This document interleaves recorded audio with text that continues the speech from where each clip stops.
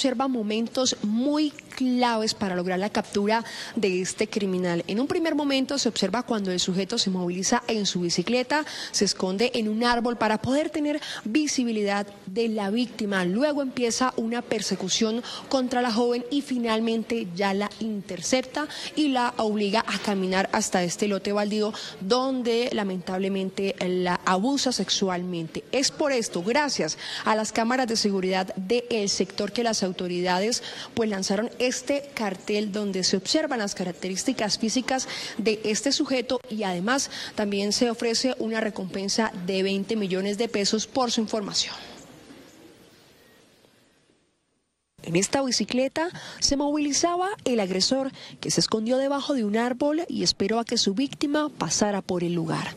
El hombre tenía una chaqueta verde y una gorra roja y nunca perdió de vista a la joven que iba caminando para el colegio.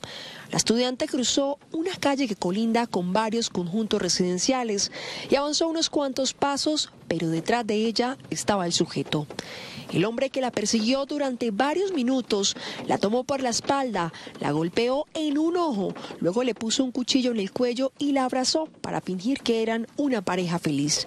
Cuando ya reduce a la mujer, la obliga a devolverse por el mismo sendero y emprenden el trayecto hasta el lote baldío que está rodeado por latas de sim entre el pastizal, la golpea con una botella en la cabeza, le quita la ropa, sus pertenencias y luego la abusa.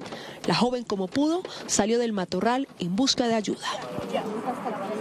Si este video fue de su interés o quiere enterarse de la actualidad de la capital, lo invitamos a suscribirse en nuestro canal de YouTube y activar la campanita.